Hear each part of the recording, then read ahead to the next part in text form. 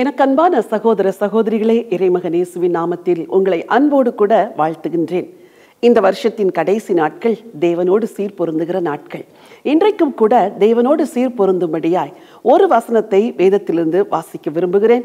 நெகேமியாவின் புஸ்தகம் எட்டாம் அதிகாரம் மூன்றாவது வசனம். தண்ணீர் வாசலுக்கு முன்னான வீதிக்கு எதிரே இருந்து காலமை தொடங்கி மத்தியானம் மட்டும் புருஷருக்கும் ஸ்திரீகளுக்கும் கேட்டு அறியத்தக்க மற்றவர்களுக்கும் முன்பாக அதை வாசித்தான். சகல ஜனங்களும் நியாயப்பிரமாண புஸ்தகத்திற்கு கவனமாய் செவி கொடுத்தார்கள். நெகேமியாவின் காலத்தில் நடந்த ஒரு சம்பவத்தை நாம் இப்பொழுது வாசித்தோம். ஜனங்கள் தேவனிடத்தில் சீர்பொருந்தும்படி வருகிறார்கள். அவர்கள் செய்த ஒரு காரியம் காலமை துவங்கி மத்தியான வேளை மட்டும் தேவனுடைய நியாயப்பிரமாண புத்தகத்தை வாசித்தார்களாம். இது எவ்வளவு ஒரு அற்புதமான செயல் பாருங்கள்.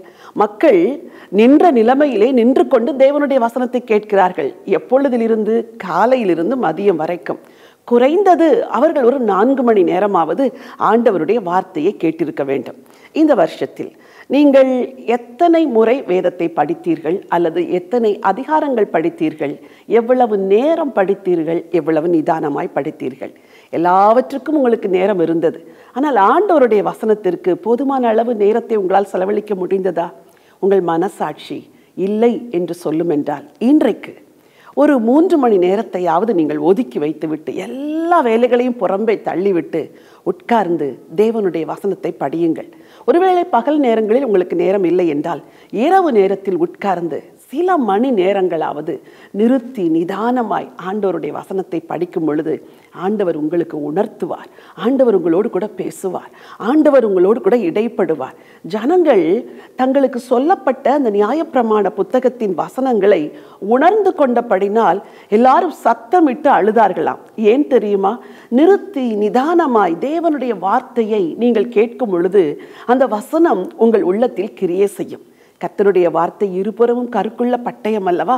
அது தேவையற்ற எல்லாவற்றையும் வெட்டி வீழ்த்தும் குறைகளை உணர்த்தும் மனதோடு பேசும் குறைகளை சுட்டிக்காட்டும். அப்படித்தான் மக்கள் வசனத்தை கேட்டு எல்லாரும் சத்தமிட்டு அழுதார்கள் என்று வேதத்திலே வாசிக்கிறோம்.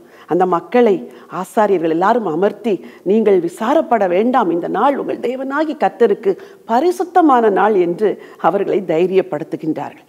ஒரே ஒரு தீர்மானம் எடுங்கள். வருஷம் முழுவதும் இந்த வேதத்தை எப்படி படுத்தீர்களோ தெரியவில்லை. இந்த வருஷத்தின் கடைசி இந்த சில நாட்களில் சில மணி நேரங்கள் திறந்த வேதத்தோடு திறந்த மனதோடு கர்த்தருடைய பாதத்தில் காத்திருங்கள். கர்த்தர் பேசுவார் குறைகளை உணர்த்துவார் செய்யப்போகிற காரியங்களை குறித்து உங்களோடு கூட பேசுவார். உங்கள் வாழ்வில் தேவனோடு நீங்கள் செலவழிக்கிற அவருடைய வார்த்தையோடு செலவழிக்கிற இந்த சில மணி நேரங்கள் பெரிய மாற்றத்தையும் பெரிய தாக்கத்தையும் கொண்டு வரும் என்பதில் சந்தேகமில்லை. என் அன்பு வாலிப மகனே வாலிப மகளே சில மணி நேரங்களாவது நீ இந்த நாட்களில் வேதத்தோடு நீ நேரத்தை செலவழிக்கும் பொழுது உன் வாழ்வு கட்டப்படும் உன் எதிர்காலம் வருகிற வருஷம் உனக்கு ஆசீர்வாதமாக இருக்கும் உங்களுக்காக ஜெபிக்கட்டுமா?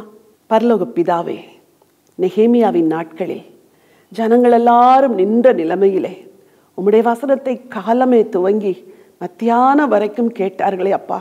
அவருடைய இருதயத்தில் எவ்வளவான ஒரு உணர்த்துதல் வந்திருக்கும்.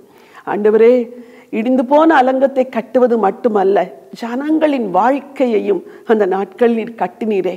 என் வார்த்தையை கேட்டுக்கொண்டிருக்கிற உடைய பிள்ளைகள் ஒவ்வொருவருக்காய் செபிக்கிறேனப்பா ஒருவேளை அவர்களுக்கு இருக்கிற அதிகமான வேலை பழுக்களின் மத்தியிலே இந்த நாட்களில் சில மணி நேரமாவது தேவ சமூகத்தில் காத்திருந்து உம்முடைய வசனத்தை படித்து உணர்வடைந்து உம்மோடு கூட ஒப்புரவாக உம்முடைய ஜனங்களுக்கு உதவி செய்யுங்கப்பா. வசனத்தை கொண்டு பேசுங்கப்பா. ஆறுதலற்றிருக்கிற உள்ளங்களுக்கு இந்த வசனங்கள் ஆறுதலை கொடுக்கட்டும். வழி நடத்துதலை தேடி இருக்கிற ஜனங்களுக்கு இந்த வசனங்கள் வழிநடத்துதலை கொடுக்கட்டும்.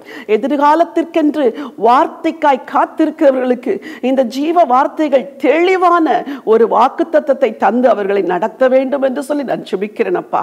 இந்த ஜீவ வார்த்தைகள் உடைய ஜனங்கள் இருதயத்தில் கிரியை செய்யட்டும். மாற்றங்களையும் ஆசீர்வாதங்களையும் கொண்டு வரட்டும் தகப்பனே. நீர் அப்படி செய்கிறதற்காய் கோடான கொடி ஸ்தோத்திரம். மீட்பரேசுவின் நாமத்தில் ஜெபிக்கிறேன். ஜீவனுள்ள நல்ல பிதாவே. ஆமேன் ஆமேன். பிரியமானவர்களே ஆண்டவர் வேத வசனத்தை கொண்டு உங்களோடு கூட பேச காத்திருக்கிறார். அவருடைய வசனத்தோடு நேரம் செலவழியுங்கள். உங்கள் வாழ்க்கை நிச்சயமாய் மாறும். எதிர்காலம் ஆசீர்வாதமாயிருக்கும். God bless you